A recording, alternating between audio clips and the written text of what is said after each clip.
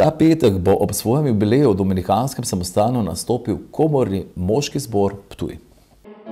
Mi smo z našo kamero zabeležili eno izmed zadnjih vaj zbora pred jubilejnim koncertom, s katerim obeležujejo 70 let svojega delovanja.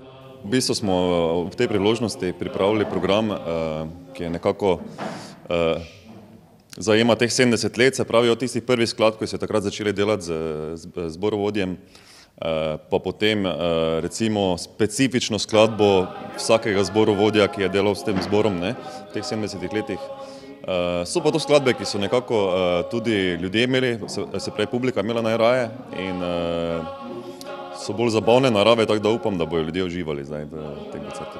Pevce ni lahko pridobiti, je pa težava, da se marsikdo ne obdrži, se pravi pridejo dostikrat sem, si sprobajo, vidijo, da je neko delo potrebno, da mogoče ne bo solo kariera s tega, da je treba biti nekako del skupine.